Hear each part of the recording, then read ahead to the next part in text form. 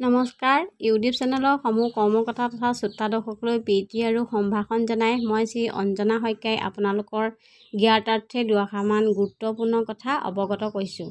আপোনালোকে চেনেলটো ভাল পালে লাইক কমেণ্ট শ্বেয়াৰ আৰু ছাবস্ক্ৰাইব কৰিব। প্ৰিয় শ্ৰোতাসকল এতিয়া আহোঁ মূল কথালৈ। আপুনি বাৰু আপোনালোকৰ চৌপাশৰ বা আশে পাশে কেনেকুৱা ধৰণৰ মানুহবোৰক লগ পায়? এই মানুহবোৰ লৈ আপুনি সুখ বাৰু সুখীনে যদি সুখী তেন্তে বহুত ভাল কথা। আৰু যদি দুখী তেন্তে কিয়? সুখী হ'লে বাৰু একো কথাই নাই। বহুত বহুত ধন্যবাদৰ পাত্ৰ আপুনি। কিন্তু দুখী হ'লে ইয়াৰ অন্তৰালত দুটা কথা দেখা পাওঁ আমি।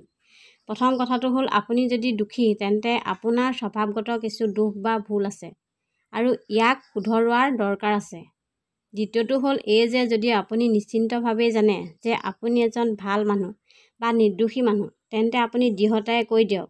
যে এই সমাজখনৰ কিছুমান মানুহৰ প্ৰকৃতিবোৰ অতি বেয়া অৰ্থাৎ তেওঁলোক বেয়া মানুহ।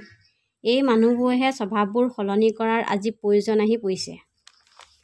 এতিয়া অৱশ্যে আৰু এটা কথা আহি পৰিল। আৰু কথাটো হ'ল এনেকুৱা মানুহবোৰক আপুনি এৰিবও নোৱাৰে আৰু ধৰিবও নোৱাৰে। কিন্তু কিবা এটাতো কৰিবই লাগিব। ইয়াৰ উত্তৰ নিশ্চয় এইটোৱেই হ'ব যে এই বেয়া মানুহবোৰক আপুনি এৰক যদিহে আপুনি সৎজনৰ সংগ বিচৰা মানুহ। শ্ৰোতাসকল আপোনালোকে চাগে চৌপাশে এনে মানুহ লগ পাইছে যি আপোনাৰ দুখত দুখী হোৱাতকৈ আনন্দ ফূৰ্তি কৰাতহে মচগুল হৈ থাকে। আপোনালোকে চাগে এনে মানুহকো লগ পাইছে যি আপোনালোকৰ উন্নতি তথা প্ৰগতি দেখি হিংসা ভিতৰি ঈৰ্ষাত জ্বলি পুৰিহে মৰে।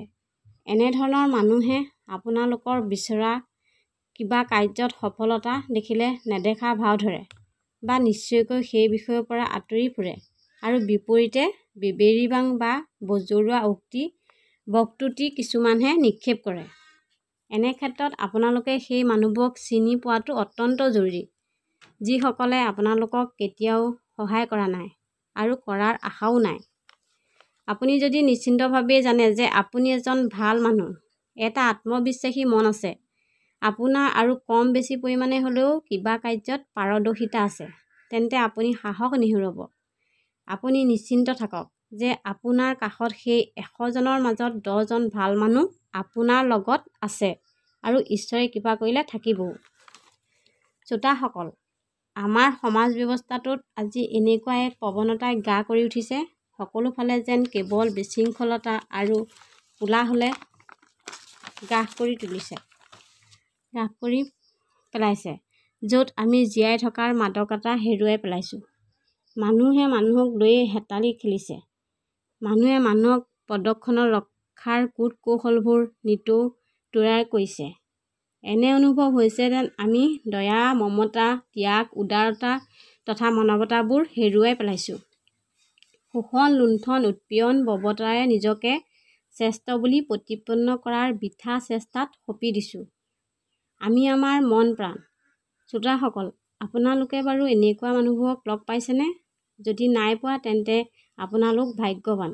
আৰু যদি পাইছে তেন্তে তেনে সংগৰ পৰা তুৰন্তে আপোনালোক আঁতৰি আহক আৰু গঢ়ি তোলক আপোনালোকক আপোনালোকে বিচৰা ধৰণে। প্ৰিয় শ্ৰোতাসকল শুনামতে শাস্ত্ৰটোত তিনি শ্ৰেণীৰ মানুহৰ কথা উল্লেখ আছে আৰু সেয়ে হ'ল উত্তম মধ্যম নৰম। ইয়াৰ ভিতৰত আপুনি কোন শ্ৰেণীৰ তাক নিৰ্ধাৰণ কৰক? যদিহে চেনেলটো ভাল লাগিছে লাইক কমেণ্ট শ্বেয়াৰ আৰু ছাবস্ক্ৰাইব কৰিবলৈ নাপাহৰিব। ধন্যবাদ।